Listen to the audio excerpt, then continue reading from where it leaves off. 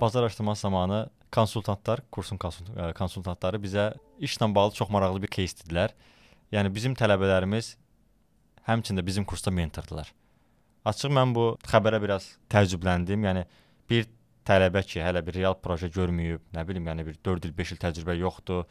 Yəni necə gəlib burada mentor ola bilər? Yəni bir dənə kurs keçməklə mentor ola bilərsənmi? Bu sualın 1. İkinci sualım odur ki, ümumiyyətlə kurslarda elanlar görürəm ki, 1 il, 2 il ə, təcrübəsi olan developerlər kursda mentor kimi işləməlidir. Ümumiyyətlə bu hala necə baxırsan? Yəni 1-2 illik təcrübə bəs edirmi ki, kiməsə proqramlaşdırmanın dərinlərini öyrədəsən? Mən də tələbələrdən çox eşitmişəm ki, bir insan kursu bitirir və həmin kursda sonra müəllim işləyir. Əslində çox gözəl səslənilir. Bir insan kursu uğurla bitirir və orada sonra mentor işləyir. Ancaq burada böyük bir problem var. Bir insanın sənayədə real layihələr üzrə uzun illər iş təcrübəsi yoxdursa, o sizə heç nə öyrədə bilməz.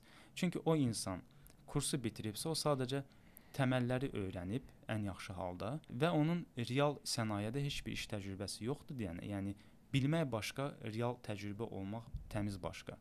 E, uzun müddət, uzun illər bu yolu keçməyən insan sizə qətiyyən öyrədə bilməz ki, nəyə daha çox fikir vermək lazımdır, nəyə daha az fikir vermək lazımdır bu istiqamətdə, sizin yanaşmağınızı düzəltmək və kifayət qədər müdüriliyi ki, bu sahəni sizə öyrədə bilsin.